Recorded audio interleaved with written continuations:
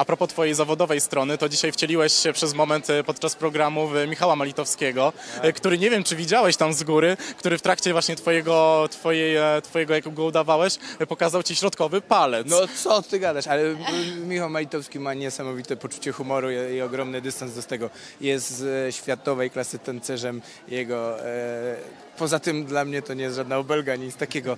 Mamy fajny kontakt. E, powiedział, że z miłą chęcią wybierze się na mój stand-up. Od razu Michał zapraszam serdecznie, jak będę tylko w Warszawie, albo w Hongkongu, albo w Londynie, to wpadaj, przybywaj.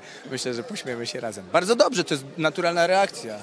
Ja nie, mo- nie, nie mogłem.